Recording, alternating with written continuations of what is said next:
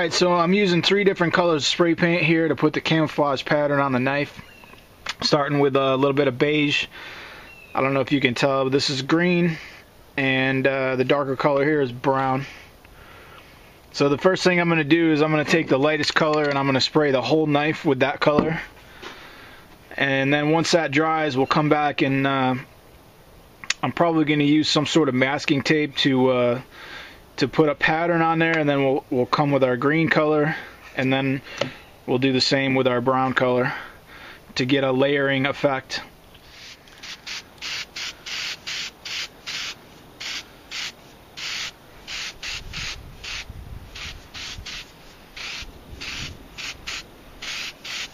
Probably going to do a couple coats of this light color here just make sure we got good coverage.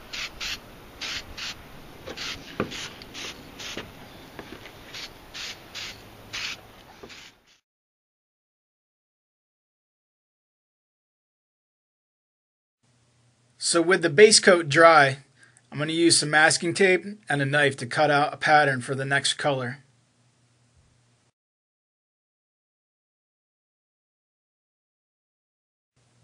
Trace the pattern on the tape with the knife. Then peel off the tape only where you want the next color to be.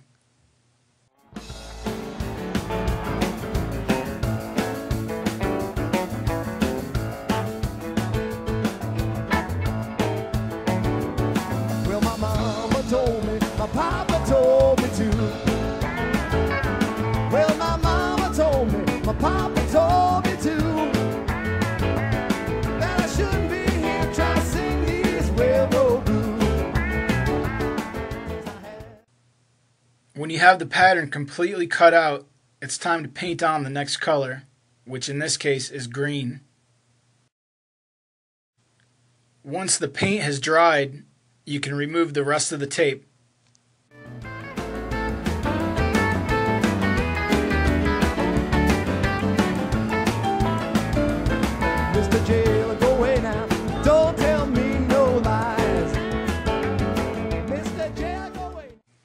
Now repeat the process for the last color, brown.